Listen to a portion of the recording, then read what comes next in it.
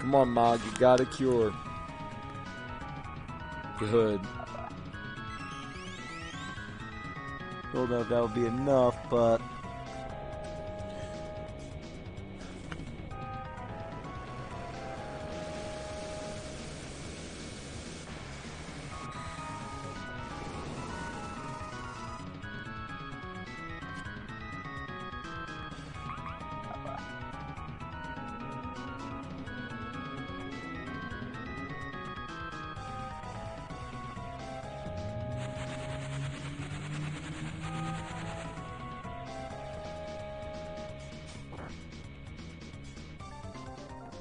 Get the fuck out of here.